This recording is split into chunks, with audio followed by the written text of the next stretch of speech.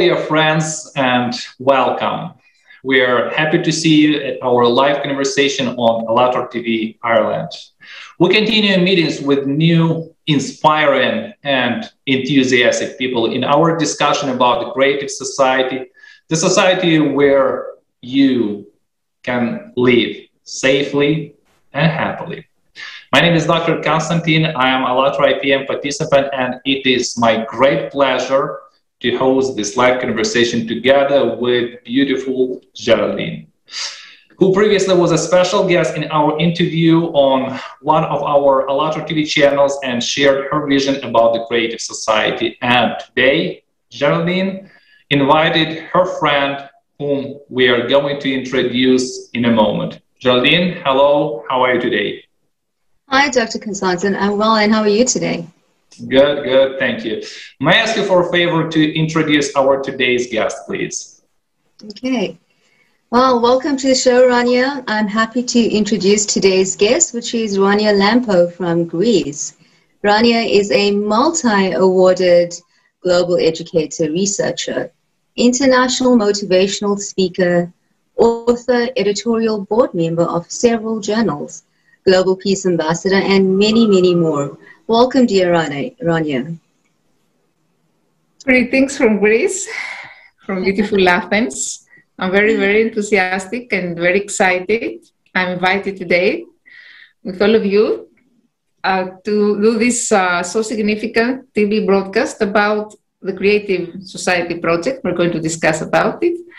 Uh, so I think that we will have uh, a wonderful time. At the same time, uh, it will be a very constructive discussion. I'm so glad you're here, Rania. And just so that everybody knows, Rania and I connected in various conferences prior to this.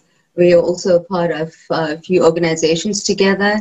In addition, this is my second time interviewing Rania. She is super fabulous, and you will immediately feel her good vibe because she is so, so amazing and so well informed about the education system. So, Rania, you are an enormously active person. So, could you please share with us what is your primary focus nowadays and what motivates you in your life? Well, my primary focus is always education, and in particular, my educational projects. My love for students is what made me dedicate my career in teaching, and my students are my main inspiration every day. I'm the founder and international coordinator of uh, many humanitarian international projects implemented mostly in Africa and Asia that focus on the United Nations Sustainable Development Goal uh, described in the 2030 Agenda. And uh, my project aim actually at promote, uh, promoting promo- uh, positive peace. During the COVID pandemic, also I launched uh, a new uh, the national project, which is called COVID-19 uh, Life-Changing Experience. And uh, obviously, it aims at promoting knowledge about coronavirus and the ways it spreads the disease, encouraging students to share their feelings and their experiences concerning this outbreak, but giving them also the opportunity to develop creativity and collaboration through uh, project-based learning activities and uh, a brand new project also I launched very recently is uh, called uh, Gender Based Violence Why Peace is a much, much better option. And it is inspired by uh, the situation of uh, high rates of gender based violence in Nigeria. Uh, it has started to be implemented in schools there and is actually um, aims at raising gender based violence awareness. to students who experience conflict situations. Uh, at the same time, um, I'm, I'm, trying to uh, promote STEAM Vision here in Greece. Um, I recently wrote a new project for the Greek Ministry about environmental education, uh, which is called SOS. So we're changing the climate. It's going to be implemented in Greek schools uh, next academic year. And it's original because it combines environmental education, STEM education, and arts. I'm also the uh, founder of many astronomy projects. Um, as an active member of uh, the Greek Astronomy Space Company and the Hellenic Physics Society, we're organizing uh, many lectures, many uh, seminars, and conferences, not only for um, uh, the layperson, but especially for underprivileged children.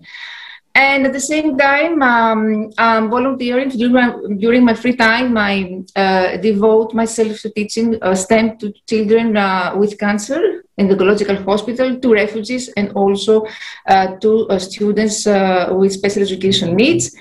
At the same time, I'm fighting for the equality between women and men in the field of natural sciences because it's a huge challenge to change the impression that the science is for boys and not for, for girls. And so I'm um, trying to organize um, a radio broadcast with my students and many educational videos. And also I'm author, author of scientific books for kids, uh, as we said, also uh, social activist, global peace ambassadors. And for all these projects, I have received many humanitarian peace awards. I forgot to mention that uh, recently here in Greece, I became the national ambassador of volunteerism and education of the Greek Academy of Volunteerism Education Help Hellas. And my, my role here is to promote volunteerism in education, to integrate volunteerism in the curriculum, and uh, help uh, to the creation of a global network of Greek volunteers all around the world that will promote the message and the value of volunteerism.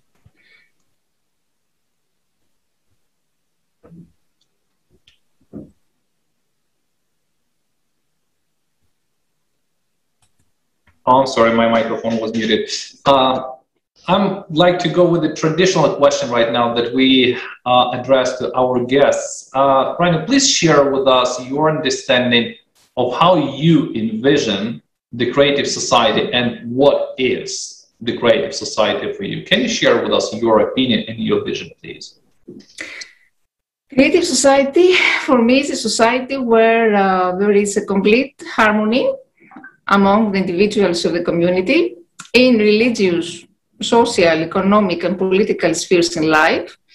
Um, an aggregate of people living together in a harmonious community with common values and customs. And I also envision a, a political economic order that is stable, just, prosperous, and democratic. That means a stable governmental system which is uh, associated uh, with a climate of confidence, civic law and order, as well as personal safety. Uh, a just uh, system uh, distributing available resources, uh, opportunities, and basic services such as education, health, housing equitably um, a prosperous economy based on a sustainably strong civic rights that are uh, safeguarded. Um, uh, a democratic system with freedom of speech. Um, democracy, for me, uh, involves much more than periodic voting. It involves uh, the presence of a civic culture based on public accountability, public responsibility, and as um, Lincoln said, uh, democracy is uh, government of the people, for the people, by the people. So the main components of uh, my creative society uh, would be uh, liberty in religion, politics, and economics. Economics, equality, of course, efficiency and community. Um, economy based on sustainably strong growth rate and dynamic job creation. Um, so a creative society has actually should have greater opportunities, balance, meaning, and needs, of course, to fulfill certain uh, criteria. First of all, it should have um, equality among men. A perfect society is more equal and ecologically sound. Um, a society where every person can have a decent life, and decent life means access uh, to resources like quality healthcare, education, um, selflessness, care, and love among people are other uh, important uh, features of this uh, society. And of course, in this society, man does not live for himself, but lives for others. And people will um, tackle conflicts uh, between religious, political, uh, philosophical beliefs with goodwill and tolerance and be uh, stoical when such conflicts seem inevitable. So this uh, world uh, would be much more friendly, helping environment compared, of course, to what happens today, to our today's society, because uh, in our world today, all individuals have uh, the tendency to be judgmental, to be competitive and hostile. So in this world, the majority of this tendency would not exist. Uh, creative society is what we strive for, and uh, we aim to build it around uh, core values such as equality, democracy, and uh, sustainability. And society around us, we know all that uh, plays a major role in our behavior. So this society should guide us, the creative society should guide us towards the good direction um, because life is complex and multifaceted. Uh, multifaceted. So to flourish, we need a variety of things such as community, democracy, um, employment, environment, freedom, happiness, health, housing, inclusion, law and order. Um, of course, uh, we can't have a perfect society because we as human beings were not uh, perfect. But uh, we can, uh, however, uh, improve our quality of life. Thank you very much for the answer. Thank you. I fully agree with you, Rania. You know, so um, as of for uh, as of today, people from all over the world are shaping the model of the creative society and share their ideas of how will all spheres uh, function in such a society. Could you please share how you see an essential sphere as education? Mm-hmm. Um, so, um, as an educator, uh, I want to say that every experience is an opportunity for discovery and learning. Life is a school where uh, the wealth of multicultural and um, uh, intergenerational exchanges contributes to broadening the mind, where everyone is called in turn to play the role of educator and student according to their skills. We as educators, we are also students at the same time. So any activity can be experienced as a reflection of our um, uh, inner life through uh, which we learn to better know ourselves and to develop harmonious relationships with others and the world around us. Uh, so um, schools and creative society educate students to, uh, uh, to encourage universal harmony and coexistence and to understand collective human goals, shared prosperity and development of human civilization.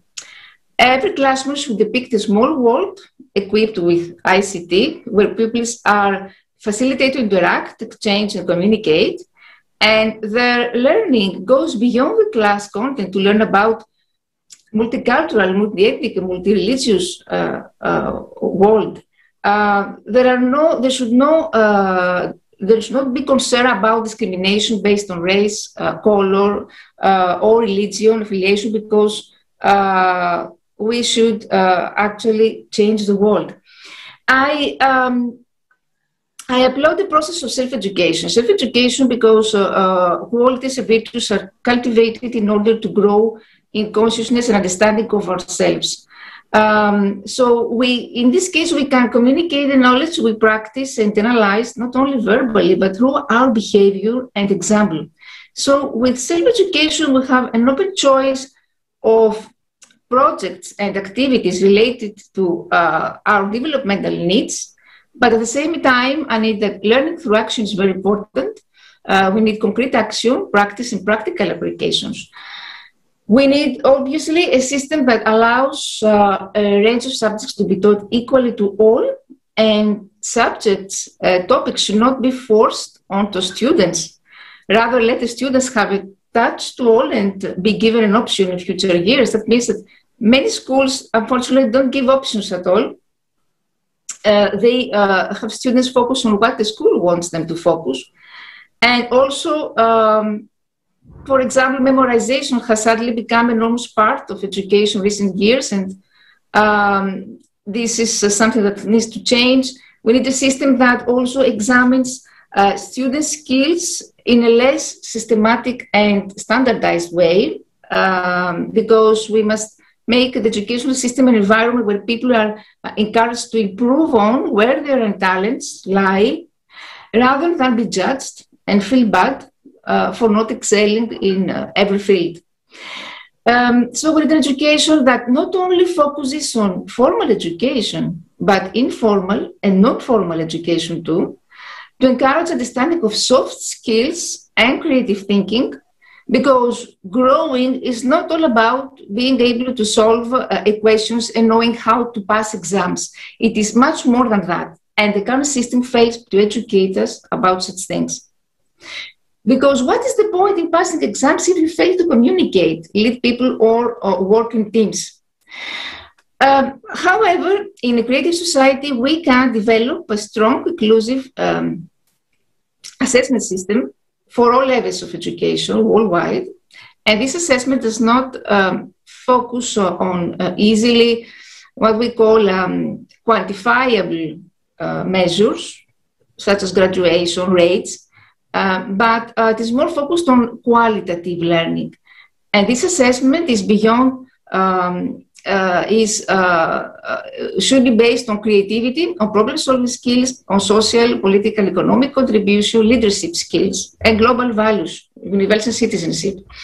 Um, and of course, uh, our education system should be managed by all stakeholders parents, governments, teachers, school, uh, policymakers, business community, because education is a huge obligation and responsibility, and we cannot um, afford to leave it on the shoulder, the shoulder of any uh, one uh, stakeholder. Uh, collective management and supervision of our education system um, have made it more accountable. So we do not live um, in an ideal world, um, and maybe an ideal education system may seem like a far goal to reach. However, many countries so far are realizing uh, where to improve on and the rest of the world should follow the lead. Many countries are developing in many aspects in terms of education, technology, modernization, and more. It is now for us time to reflect on the core of uh, what builds our future.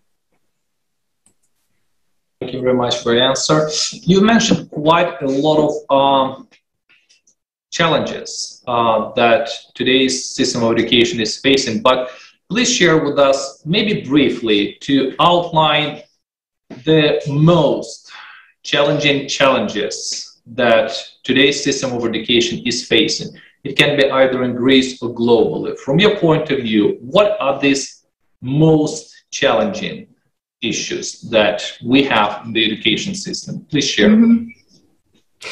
Um, whether we like it or not, we are in a paradigm shifting age, and we realize that we have many challenges to face. So, first of all, is I think the most important of all is sustainability because we are depleting the planet's biocapacity at an uh, exponential rate. And if current behaviors do not stop soon, we will quickly uh, exhaust our planet's resources. Um, so human beings will face a level of resource scarcity that will make life intolerable, uh, of not impossible. So we need environmental education. It's something that is urgent in education. Another challenge is that in most school, um, students are complaining about high levels of stress as they carry out hyperactive lifestyles and that can become unhealthy and compulsive. And this has led to some responses, especially in areas in the area of what we call mindfulness. So, how uh, what our uh, uh, schools should do to promote happy and focused calm, uh, and how does this mindfulness movement stand up to this challenge? Another challenge is uh, that the machines that humans have built are challenging, uh, challenge the singularity and the uniqueness of some of the essential uh, components of human intelligence. Human beings, including young people, appear increasingly attached to devices and dependent on them. So, what are the could be the implications for education? And of course, another challenge is that we need to redefine the curriculum. Uh, we need to rethink what is taught in school entirely, and perhaps we should have less content and opening more time and more opportunities for skills development. So um, now in the conditions of the consumer world, we see that the main focus of science is on the military industry. Rania, what goals and objectives should science have in a creative society, in your opinion? Mm-hmm. As uh, research and technology are changing, uh, society and the way we live, uh, scientists um, can no longer claim that science is neutral, uh, but they must consider the ethical and social aspects of the world, of the work, because um, as uh, scientific progress becomes increasingly fundamental to society, it is constantly challenging and um, opposing with uh, our ethical values. So scientists should be concerned about the use of scientific knowledge and they should address the ethical questions, both in general terms and in terms of their own work. Um, many, for example, technologies, we can uh, actually um, blame any technology. Many technologies, uh, uh, for example, internet was uh, conceived by military programs. Or uh, we can talk about um, genetically modified plants. Uh, we need to ensure that all this technology isn't intentionally or accidentally used to violate the people's rights and civil liberties. Uh, we must ensure that they are used to further the values of the general population and advance the interests of uh, citizens. Um, and uh, our age of uh, technology has taught us to be wary of the dangers of certain applications, of course, of science, um, such as tools as manipulation, degradation. And we also have um, the image of uh, Dr. Frankenstein monster. And we have all become accustomed to this picture of um, nuclear, nuclear um, reactions and chemical attacks. And so they have learned the hard way that uh, the model of Daedalus uh, can be a dangerous character.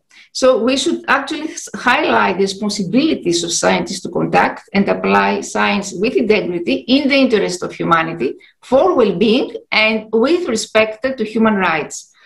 Uh, we call for um, assessment of science and uh, scientific policies to recognize the value of science as a tool to push the boundaries of human knowledge, to promote universal well-being, to monitor, analyze, and respond to environmental, social, and economic challenges, and of course to address the capacity needs of scientifically uh, of scientific countries. Um, unfortunately, the powers of science are more neutral. Uh, that means that they're easily used for bad purposes uh, as not good ones. Uh, because uh, mankind is, uh, we should not forget, forget here that uh, mankind is uh, not defined only by intelligence, but also by conscience. So the moral challenge posed for us by modern society is that our scientific tools simply give us raw power, and it's up to us to determine, to define the right ways to use this power. We acknowledge the scientific freedom uh, that the scientific freedom should be respected by society if it is based on strict ethical uh, principles such as beneficence, efficiency, respect for autonomy, justice. So we need a scientific virtue-based uh, approach. Thank you very much, Rania. Thank you. Uh, I'd like to continue our conversation about the creative society, and um, we have eight foundations of the creative society. So, um, in order to build a creative society, we, I believe personally, should be united by one common goal. And by the way, um, as a basis for building such a society, um, eight foundations of the creative society were formed, which are, by the way, as a result of thousands and thousands interviews and social surveys, which were done by ALLATRA IPM participants in more than 180 countries. Um, these are the foundations which were already also mentioned in the article on ALLATRA Unites website. Now I'd like to ask our team support, uh, please um, show us the video about eight foundations.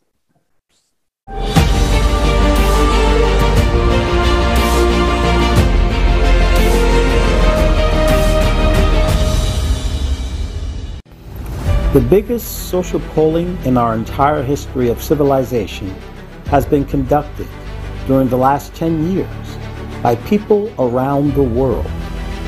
180 countries, millions of people of different social statuses, denominations, nationalities talk about the society in which they want to live in. And this is a creative society based on the answers of the people from around the world, eight foundations of creative society were established. A society where all people can live in happiness, peace, and prosperity.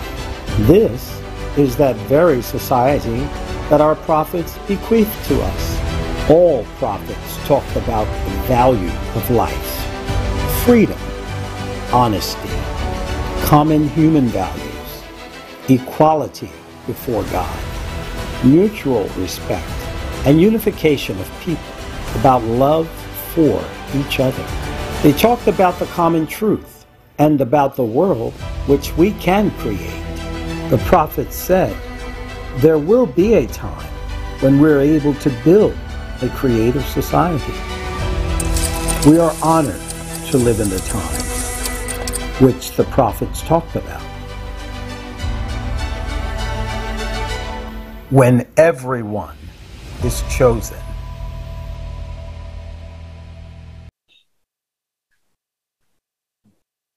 Thank you, uh, friends. Uh, Rania, there is another question that I'd like to address to you. Please share with us your opinion about eight foundations. What did you like the most in the eight foundations? And from you personally, what benefits can you see for yourself and every person when these eight foundations are implemented in our society? Share with us, please. Well, um, the eight foundations are all crucial. Human life is precious, human freedom, human safety, transparency and openness of information of all, because freedom of access to information is a basic human right, but is also a precondition for informed public participation in governments. And um, open and transparent governance also considered a precondition for preventing and revealing corruption and maladministration. So openness and access to information is a crucial element and implementation and promotion of human rights.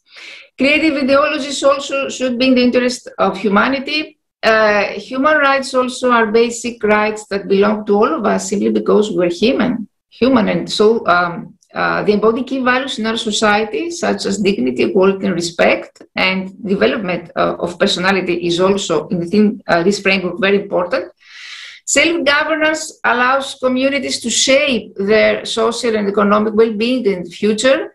And but the most important of all for me, I think that justice equality, um, it's most important because we live in a world in which um, knowledge and technologies continuously challenge our values. Uh, so we all have to live in our daily lives and make decisions based on the fundamental values of human dignity. Um, social integration actually is justice is uh, is related to social integration uh, as a dynamic process of promoting values, relations, and institutions that enable all people to participate in social, economic, cultural, and political life on the basis of equality of rights, equity, and dignity. It's, it's a process in which citizens engage in order to foster um, strong institutions that are based on the promotion and protection of the human rights. Um, social inclusion is important. It's a multidimensional also process aimed at creating conditions which enable full and active participation of every member of society in all aspects of life. And what will be the result of all these foundations? Why this found, uh, Why all these foundations are important? And because uh, they will result in a social cohesion. This is this should be the goal. Uh, social cohesion refers to all these elements that bring and hold people together in the society in a socially cohesive society, all individuals and groups have a sense of belonging, participation, inclusion, recognition, and legitimacy. So, Rania, when we talk about creative society, we talk about human with a capital H. What is a real human for you? Well, uh, each of us uh, thinks uh, that we are human. We walk, we talk, we look, we act like humans, but are we being true to our fundamental nature that springs from within us? Uh, because human beings have um, exhibited extraordinary creativity, innovation, heart, and wisdom, but we still uh, find ourselves struggling, competing, uh, arguing, destroying each other, and striving to find a sense of place in uh, this uh, chaotic world. Um, so I believe that the science of a real human being is around joy, compassion, love, self-esteem, self-belonging, um, care for fellow human beings, and if, uh, of course, environment and uh, including both plant and animals, and if uh, we realize this, we are automatically ready for sustainable uh, stress-free success and a deeply fulfilling and meaningful life at all levels. Um, morality is very important here because it uh, uh, it helps us realize that um, it's more strong that of the claims of law and takes priority over uh, all over our self-interest. Um, so I think that the real human being should have these characteristics: should be compassionate, sympathetic, and uh, generous. Thank you very much, Rania. And um, continue talking about the creative society if we go to the practical part. In your opinion, what every person can start with right now in order to build such a society? What do you think? Uh, to, build to build a future and a new society, we need to imagine it first. If we don't imagine the future we want, we will never going to get there. So, in order to contribute to the future of the global environment of society, we need to make efforts uh, to focus on long term vision and have clear goals. This, of course, requires a paradigm shift so as to recognize the dignity, value, and importance of each person, and not only as an uh, ethical norm and moral imperative, but also as a uh, societal goal. Uh, no human being should be condemned to endure uh, a miserable life uh, as a result of his class, his country, or his religious affiliation. And uh, to this end, social inclusion, as I said before, uh, should be an overarching goal as well as a multidimensional process that can play a critical role in promoting sustainable human development. So the first step for us, for policymakers and uh, for scientists also, is to redefine uh, social inclusion as a practical tool to promote an inspirational and, uh, we can believe this, realistic set of policy measures uh, orientated towards a society for all. Thank you. Um, so, Rania, following the tradition, whom would you like to invite for our next conversation and to hear his or her vision of a creative society? I would like to recommend uh, Dr. Chris Sotiropoulos. Uh, he's um, a Greek uh, friend, but he lives in Australia. He's CEO of uh, Global Opportunities Commercialization. He has over 25 years of global expertise in the commercialization of innovative healthcare and IT products, but he's also involved in many charities uh, with the goal to create a sustainable global ecosystem, Chris has a strong passion for innovations and that improve lives and uh, change uh, the world. Thank you very much. Uh, we will definitely contact them.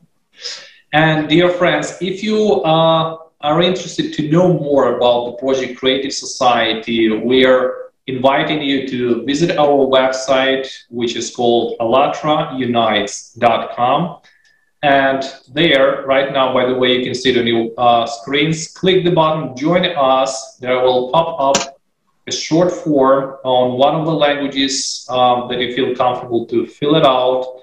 Uh, and you can send us uh, a request and we will contact you. Thank you very much. Thank you, Rania, for being with us today and uh, for this enriching conversation. So, what would you like to wish to our viewers? I would like to close uh, with a quote of Mahatma Gandhi, who said that um, humanity is an ocean, and if a few drops of the ocean are dirty, the ocean does not become dirty. And also, the Dalai Lama said that love and compassion are necessities, not luxuries. Without them, humanity cannot survive. And to deny people their human rights is to challenge their very humanity. Thank you very much, Rania, for your sincere answers. It was pleasure communicating with you today. Uh, and thank you, my host, uh, Geraldine. You were too bold, dazzling today, and oh, I enjoyed communicating with you both. Uh, dear uh, friends, dear viewers, like it was mentioned already, if you'd like to know more about this project, to join this project, uh, you are more than welcome to visit our website to join us and be uh, the leader of changes. Uh, I'd like to uh, also say one more quote which belongs to Mahatma Gandhi. So don't wait for changes, be the changes you wish to see in the world. Thank you everyone for watching us today, and we hope that you will be joining us in our next sessions, in our next live conversations. Thank you very much, and have a great evening or day.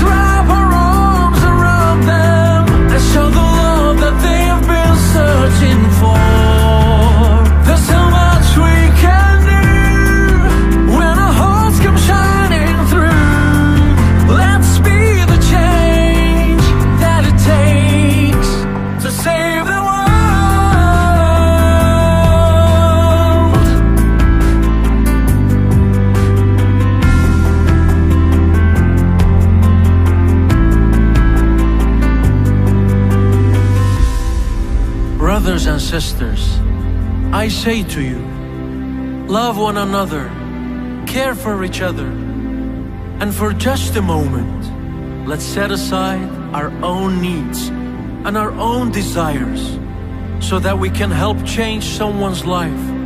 We can make a difference.